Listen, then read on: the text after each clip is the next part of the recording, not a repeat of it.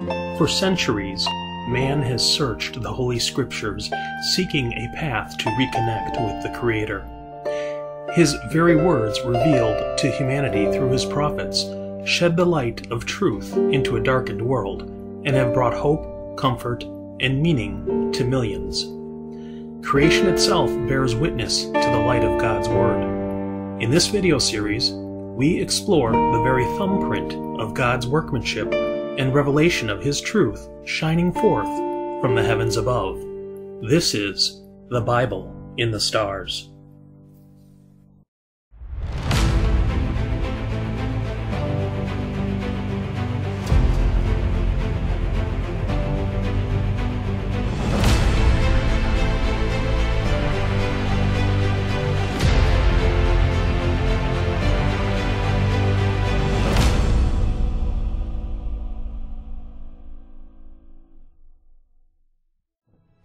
In the book of Psalms in the Bible, Psalm 19, verse 1, it reads, The heavens declare the glory of God, and the firmament showeth his handiwork.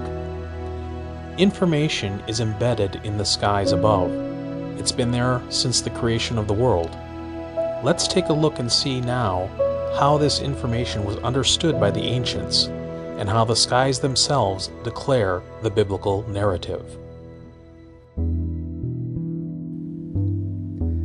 I'm going to take you back to a very specific year and day in time. How this date was arrived at would take too long to explain for the purposes of this section of this video series. But suffice to say, it was determined through a careful and detailed study of Bible chronology. The Bible is actually fairly specific on the timeline of world history, more so than many realize. It lists times and ages for many of the key figures and events in biblical history, and because of this, it is very possible, with a bit of examination and determination, to come up with a specific time frame for the creation of the world. Many famous figures in history have attempted to piece together this biblical puzzle, and here is a list of a few of them. Bishop Ussher came up with a famous date of 4004 BC as the year of creation. In addition to that, Sir Isaac Newton, the discoverer of the principles of gravity and the famous physicist, came up with a year of 3988 BC. Johannes Kepler, the father of the planetary laws of motion, came up with a year of 3993 BC. Martin Luther, the famous theologian and father of the Protestant Reformation, came up with a year of 3961 BC. And an additional text from the Jewish tradition, known as the Seder Olam Rabbah, came up with a year of 3761 BC, which is a foundational text for the keeping of the Jewish Hebrew calendar, where they derived their current year and dates. As you notice from this list, and there are many others besides this, the approximate age of the Earth is somewhere around 6,000 years ago, according to the Bible. Now, of course, this differs greatly from the theory of evolution and the mindset of modern science that believes the Earth is millions of years old. It is not the purpose of this video series to debate that topic. That is debated greatly elsewhere on the internet. Suffice to say, we do take a creationist worldview. But what I wish to show in this video series is that the stars themselves bear evidence of this. And so we will go forward taking a look at the world from the creationary mindset, from the belief that the earth is in fact 6,000 years old, and show how nature itself bears witness to this fact. In this video, I wish to offer an alternative year for creation, a year that I believe is backed both by my own studies of biblical chronology as well as the stars themselves when one studies astronomy for that date. The year that I believe creation occurred is the year 3967 BC. And when we look to the heavens for that date, we find some very interesting things indeed. So let's go back in time now to the year 3967 BC and see what the heavens reveal.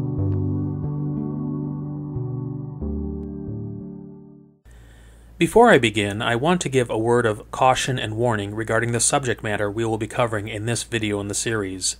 Because the stars are named after pagan deities and gods, we will be looking at the etymological and historical roots of those gods that the stars were named after. This is in no way, shape, or form an endorsement of those pagan beliefs. On the contrary, the Bible itself considers paganism idolatry and a sin against our Creator.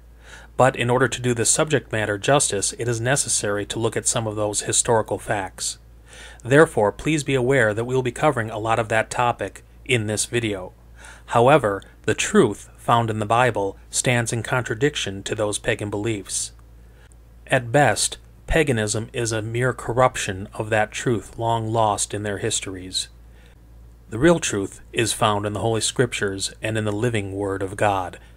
Please keep this in mind as we go forward. The year is 3967 BC. It is a Saturday evening, March 8th, 5:40 p.m. sunset Jerusalem time. Although Jerusalem does not yet exist, this is what the heavens and the skies would have looked like from that vantage point on the map.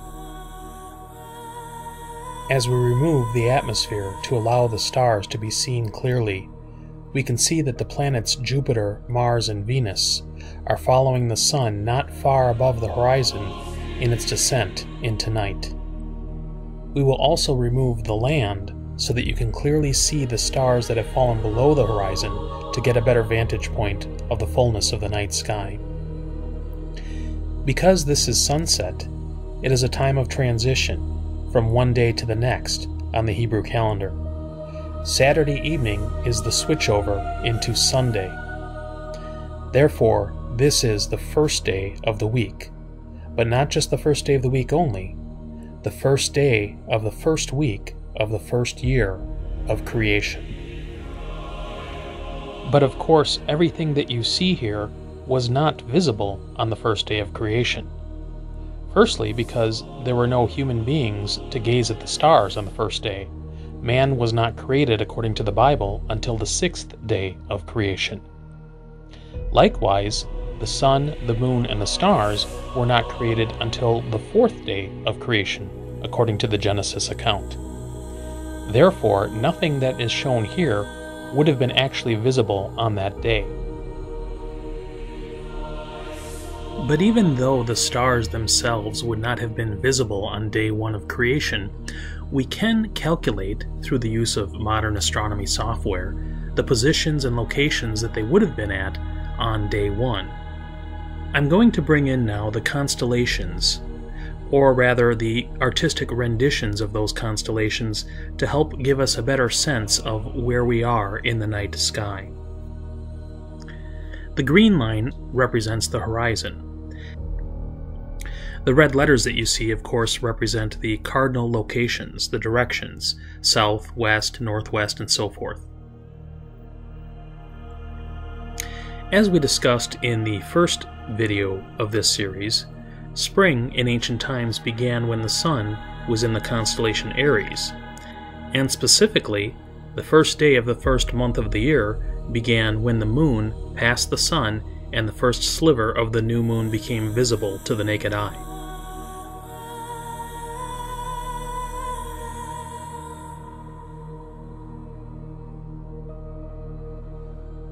Let us now examine the players as they take the stage in the grand cosmic story in the sky. Our first player is the planet Jupiter, seen here. Jupiter was the supreme deity of the ancient Romans in their pagan religion. The name Jupiter corresponds to the two words Deu and Pater. Deus means day or sky, whereas Pater means father. So therefore, Jupiter was the Father in the sky, or the Heavenly Father. His identifying implement is the thunderbolt and is equivalent to the Greek god Zeus. In the Germanic tradition, he was equivalent to the god Thor, the god of thunder, from whence we get the name Thursday or Thor's Day. In the Bible, one of the three sons of Noah was Japheth. The word Japheth in Hebrew, or Japheth, means to open or to enlarge. Japheth was known for spreading out over a large territory and being the progenitor of a large people group. Specifically, Japheth was the father of the Europeans. It may be possible, although not etymologically proven, that the term Japheth, as the ancestor of the Europeans, over time was corrupted into the term Jupiter, or Heavenly Father. Ancient cultures often would deify their ancestors as a form of ancestor worship. Japheth, as the father of the Europeans, might have undergone such revision. In Hebrew, the name of the planet Jupiter is Tzedek, which means righteousness or justice, in the sense of judging, such as just kings or rulers who would make righteous judgments. Therefore, we can see that Jupiter would correspond to the term Sky Father, or a representation of our Father in heaven, of course, that is not to say that Jupiter is the Father in heaven, that would be pagan idolatry. But rather, in our pageant in the sky, Jupiter will instead play the character of the Father in heaven, representing him in our heavenly story, just as an actor would represent a character on the stage. So let's make a list of all of our characters. The first being Jupiter representing God the Father in heaven as a righteous judge. Our next actor will be the planet Mars. Mars is known as the red planet because the color of its soil gives off a reddish hue that can be seen in the night sky. Mars corresponds to the ancient Roman pagan god of war the etymology for the name Mars is uncertain. It's believed to be related to the word Mawort, which is an ancient Italic god of war. It may be Etruscan in origin, but we're not certain as to where the word Mars actually comes from. It's of foreign derivation to the Latin language. Mars has many equivalent counterparts in many other cultures. For example, in the Babylonian tradition, he was Nergal, the deity of fire, war, and destruction. In the Hindu tradition, he was Angaraka, in Sanskrit after the celibate god of war who possessed signs of Aries and Scorpio. In ancient China, the advent of Mars was taken as a portent of bane, grief, war, and murder. And of course, in Greece, he corresponded to their god of war. The word for the Greek god of war, Ares, should not be confused with the constellation of Aries, which is spelled differently. The Greeks also had another name for the planet Mars, Pyros, meaning fiery, derived from its reddish color. In the Hebrew tradition, the name for Mars is Ma'adim, which means the one who blushes, or the red one. In Roman mythology, Mars was not only the god of war, he was also an agricultural guardian. Guarding the agricultural lands of the nation may have been the primary reason for going to war. Mars is, of course, the red planet. Red fire, red blood, and red earth are all things that are associated with war. It's no wonder that the ancients would have looked up at the night sky, seeing the red planet, and made that association with their pagan gods. The Hebrew word for the planet Mars, Ma'adim, comes from the word red. There are many related words in Hebrew that relate to the color of red and the word Adam. Dam, for example, is the Hebrew word for blood. Adam is the Hebrew word for red. Adam is the Hebrew word for man, but is also derived from the word red. Adamah is the name of the ground from which Adam was taken. It gets its word from the reddish color of the soil. It's possible that the soil that Adam was taken from was red colored clay, or something of that nature. It says in Genesis 2 7 that the Lord God formed man of the dust of the ground. The word man here is Adam, and the word ground is Adamah both related to the color red. Therefore, we can see that Mars, as the red planet, is associated with the color for Earth in the Bible. It will serve as the representation of Earth in our night sky pageantry. So let's add number two to the list. Mars will represent Earth in the story above. Now let's move on to the next planet, Venus. Venus in ancient times was known as the Queen of Heaven. In the Roman mythology, she was known as the goddess of love and beauty. Her Greek counterpart was the goddess Aphrodite. In the Greek mythology, Aphrodite was born from the foam of the sea. She in turn was derived from many other ancient fertility goddesses of the Near East, such as Astarte or Ishtar or the Sumerian cult of Inanna, and many others.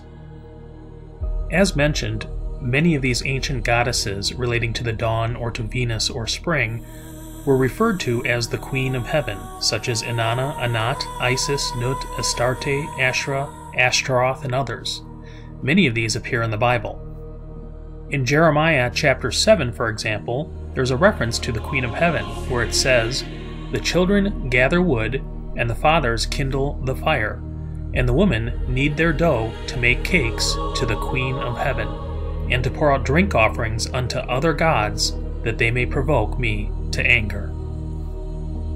The word heaven in that verse is shamayim in the Hebrew.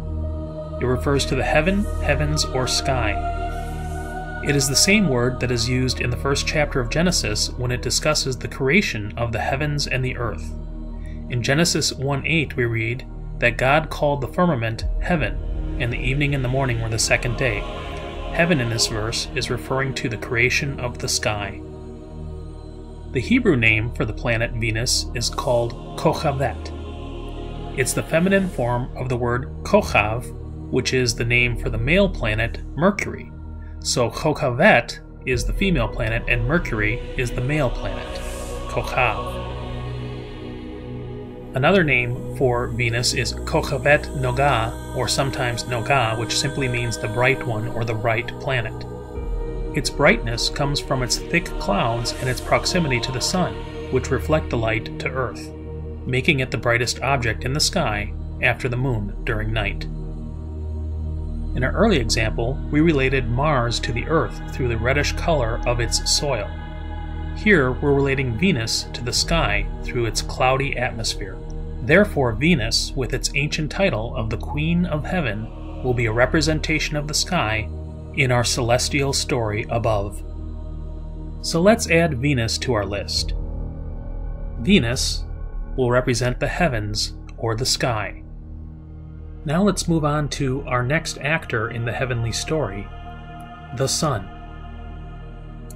In ancient times, there were many pagan gods that represented the sun, for the Romans, one of them was Sol. Sol was equivalent to the Greek god of the sun, Helios. Helios was known as the guardian of oaths and the god of sight as well as a sun god. It was also related to another sun god, Apollo. Apollo was known as the god of oracles, sunlight, and knowledge. In the ancient Indian tradition, their sun god was Surya. Helios, Sol, and Surya, in turn, were equivalent to the Mesopotamian sun god Utu or Shamash. Shamash, in addition to being a sun god, was also a god of justice, morality, and truth, according to those ancient pagan cultures. The Hebrew word for the sun is shemesh, related to the word shamash. It comes from an unused root word meaning brilliant or to be bright. Therefore, the sun, being the bright or brilliant object of the day sky, will represent light, of course, in our story. So now let's add the sun to our list. The sun will represent light. Moving on now from the sun, let's move on to the next planet in our series of actors in the sky. Our next planet is Mercury.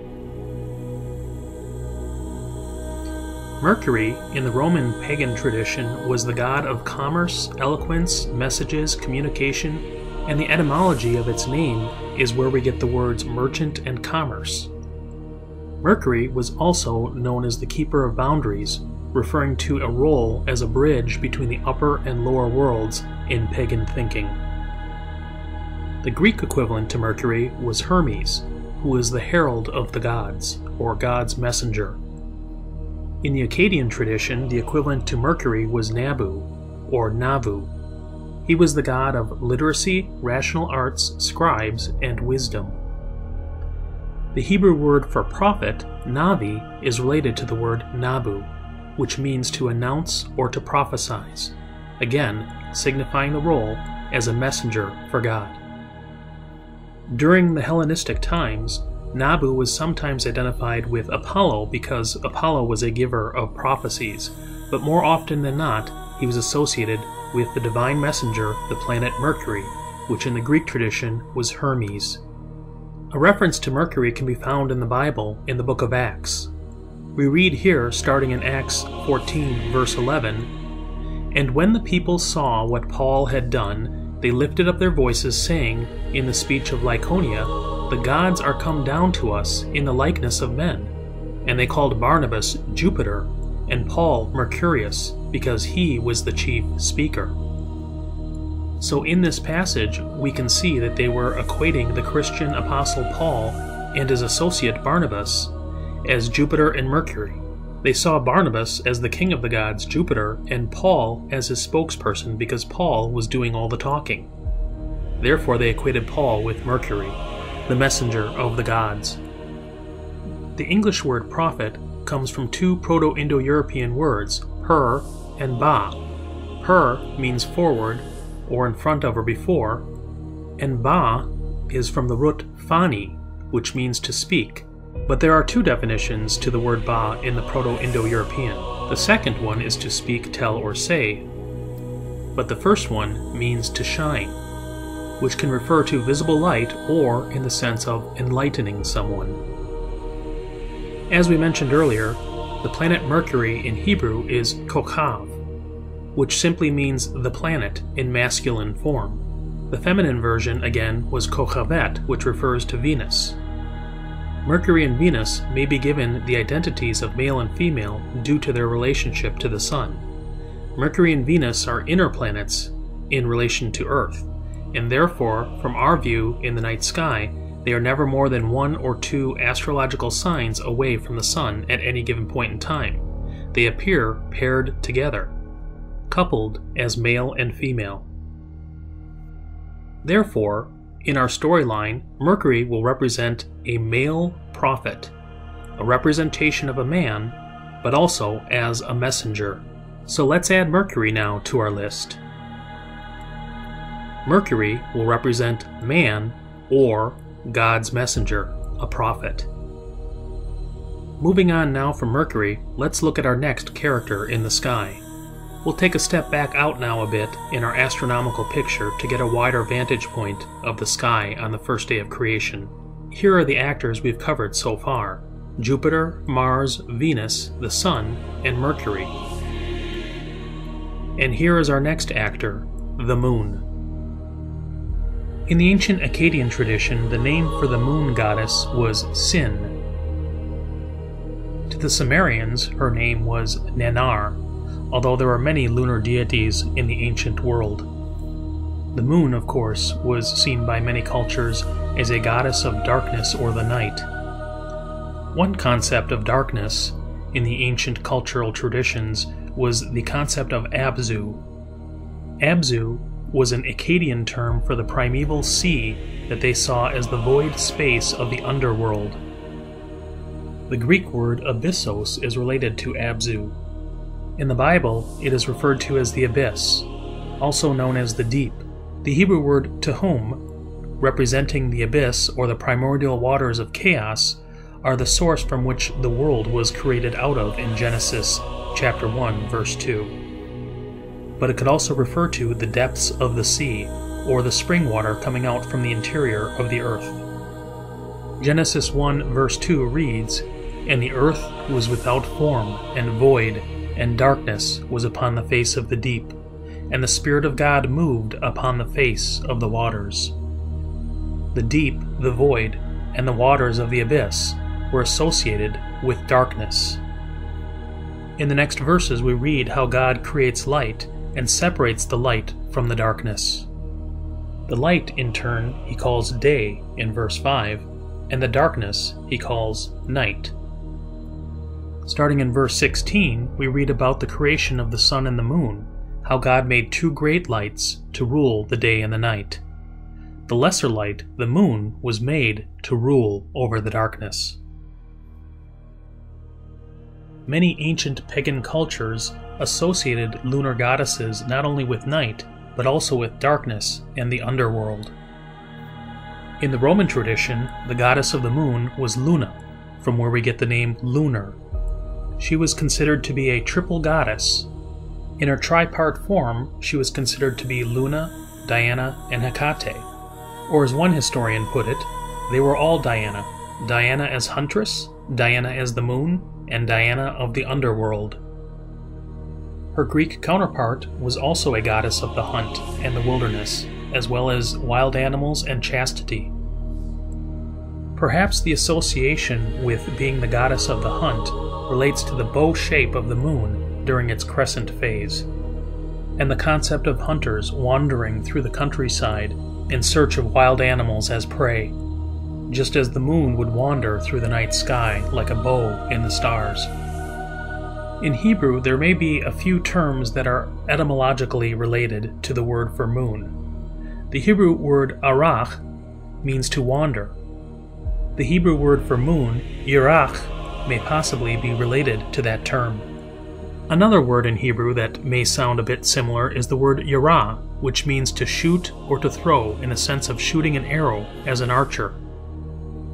The English word moon comes from the Proto Indo European root word mi, which means to measure. It relates to the moon's phases through the night sky as a measurement of time. So then, what we can see in our character of the moon is it can take on a different role depending on how it appears or its phase in the night sky. As a ruler of the night, it will represent a measurement of time and the separation of light and darkness and in the case of its dark form, it can also represent the sea or the dark waters of the abyss. Therefore, let's add the moon now to our list. The moon will mean to measure, or in some forms, darkness or dark waters of the sea. Let us move on now to the last planet in our collection of characters the planet Saturn. Saturn, in the ancient Roman religion, was the god of agriculture periodic renewal, and liberation, among other things. He is equivalent to the Greek titan Cronus. Cronus was usually depicted with a harp, scythe, or sickle, and he was considered the patron of the harvest. A famous festival was held each year called Saturnalia in the Roman tradition, which celebrated the time around the winter solstice, when the days would stop getting shorter and would begin to get longer again, it was seen as a separation, a time of periodic renewal from one year to the next. Saturnalia was a time that would symbolize the freeing of souls and the commencement of a golden age. Some of the customs and traditions of Saturnalia over time were conflated in Europe with Christmas, which also takes place around the time of the winter solstice. The Titan, Cronus, was sometimes associated with Chronos, the Greek deity of time, although these are two separate figures. Cronus represented the destructive ravages of time. And because of this, during the time of the Renaissance, Father Time was often depicted as wielding a harvesting scythe, similar to Cronus. The word chronos is where we get our modern words chronology, chronometer, and chronicle, things associated with time. In the Hindu tradition, the name for Saturn was Shani, and he was seen as a black figure carrying a sword and sitting on a vulture. Shani would judge everyone based on the good or bad deeds that they performed in their life, as a sort of grim reaper and judge rolled into one. In the Hindu calendar, Shani is also the basis for their seventh day of the week, which corresponds to Saturday on our calendar. Saturday, of course, is named for Saturn, And in the Hebrew tradition, the name for the seventh day of the week is Shabbat, which is where we get the word Sabbath, meaning the day of rest. The name for the planet Saturn in Hebrew is Shabbatai. Shabbat in Hebrew means to cease, desist, or rest. As a planet, Saturn is the slowest moving of the visible planets through the sky. It takes about 29 and a half years for it to move through the entire zodiac and the etymology of its name may come from an Etruscan word named Satyr, which means slow. The Hebrew word Shabbat is also related to the Hebrew word for seven, which is Shavah. It states in Genesis chapter 2 verse 1 that thus the heavens and the earth were finished and all the host of them, and on the seventh day God ended his work which he had made, and he rested on the seventh day from all his work which he had made. In verse 3 it says, And God blessed the seventh day and sanctified it, because that in it he had rested from all his work which God created and made. That word sanctified in Hebrew is kadash, and it means to be set apart or be consecrated. When we look at the night sky for our day of creation, we notice an interesting feature. Our six prior characters which move visibly through the night sky, are on one side of the horizon, in the west. Saturn is set apart, separate from the others, on the east. And it resides in the constellation of Libra, a constellation depicted as scales, a sign of judgment. Here we can see the ecliptic, the line on which the heavenly bodies move through the night sky, and we can see that unlike our other characters which are in the portion of the sky associated with the months of spring, Saturn is in the months associated with the fall or harvest time. Therefore, Saturn, as the planet of harvest and rest, will represent completed time of resting and judgment. Let us add Saturn to our list now. Saturn will represent the Sabbath, the completion also associated with the number 7. It also has connections with time and the final judgment. And it is appropriate that Saturn is the last of our items on our list, for our list is now complete. And now we can begin to look at how the characters take the stage and perform the story in the stars found in the Bible.